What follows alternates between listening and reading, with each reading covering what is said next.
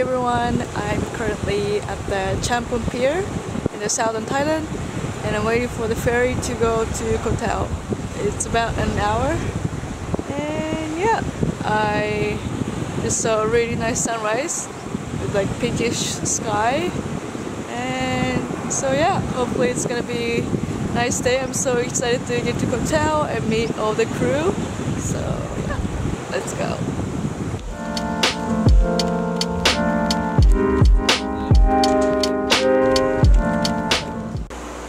Just arrived at the Crystal Dive and I'm staying here for a few nights, the first few nights and I'm, I'm gonna try to look for the long-term accommodation but just just look at the room.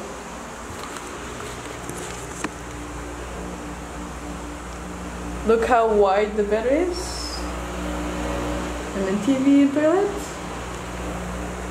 I mean I've been staying in a tiny, tiny room in El Nido with a coworker. So this is like totally awesome. Like I don't know. Um, yeah, I mean, pretty much the same price for one night, and or it's it's more expensive in El Nido, I would say. Yeah, and I only have like tiny single bed for myself this is awesome.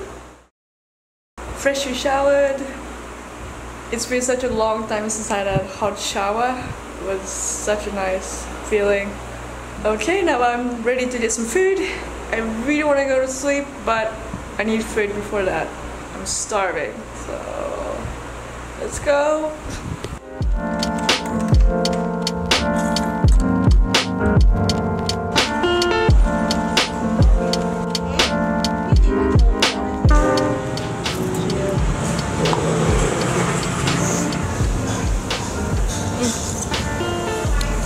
Such a long time. So good.